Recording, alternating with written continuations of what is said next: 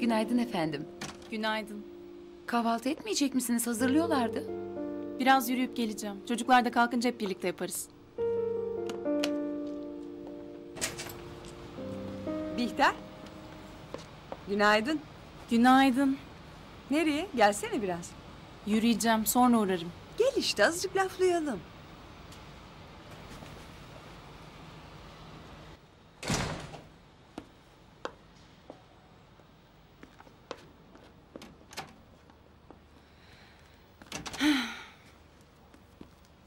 Adnan Bey uyuyor mu? Hayır kabristana gitmiş. Arsen Hanım şimdi salona indi gazetelerini okuyor. Çocukları sorarsan kalkmadılar hala. Ee, Behlül eve yeni geldi. Matmazel'i bilmiyorum. Başka? Niye bu kadar sinirlisin? Öyle miyim? Evet öylesin.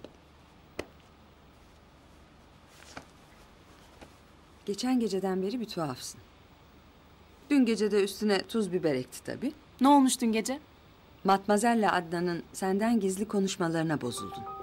Başladın yine saçmalamaya. Kız sen de haklısın. Bence sana bir mesaj bu. Matmazel her şeyin farkında. Neyin farkında? Neler saçmalıyorsun? Yeter. Aptal gözünü aç. Bu kadın Adnan'la aranızın bozuk olduğunu anladı. Fırsatları değerlendiriyor. Ah. Günaydın. Günaydın Matmazel. Çok hoşsunuz yine bu sabah. Teşekkür ederim. Kahvaltıda görüşürüz. Tamam.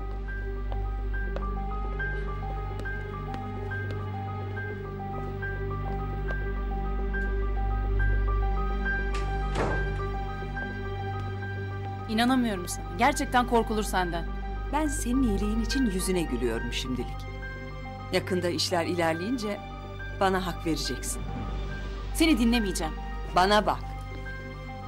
Ben boşa konuşmam. Birazcık itibar et fikirlerime. Bu kadın Adnan'ın peşinde. Yeter. Rahat ver artık. Aklın hep melanete çalışıyor. Yoksa sen razı mısın ha? Senin de işine geliyor değil mi? Keşke öyle bir şey olsa diyorsun. Ne diyorsun sen? Ne diyorsun? Sen beni gerizekalı mı zannettin? Ben her şeyin farkındayım.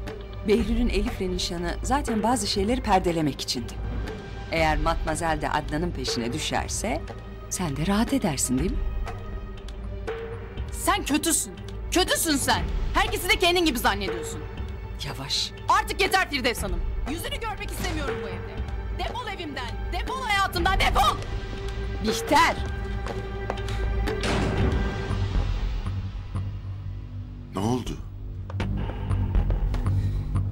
Yemin ederim öldüreceğim bu kadını Adnan. Yemin ederim. Gel dışarı çıkalım canım. Gel.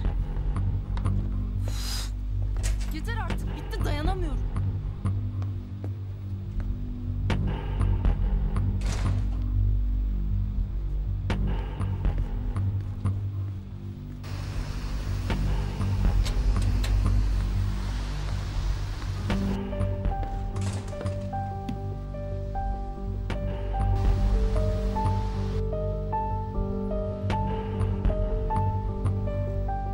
Ben artık onu istemiyorum bu evde. Sürekli mutsuz, sürekli bir şeylerden şikayetçi. Sürekli benimle uğraşıyor. Yeter artık. Tamam bakarız bir çaresine.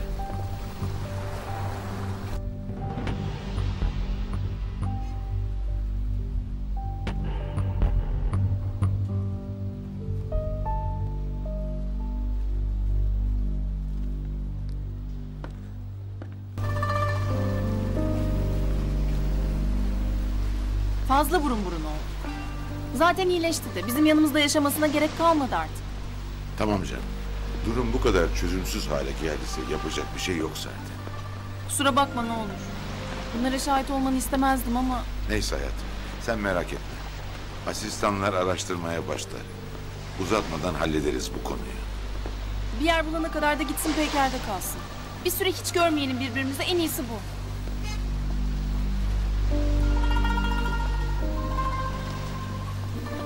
Tabii bunu ben teklif edemem.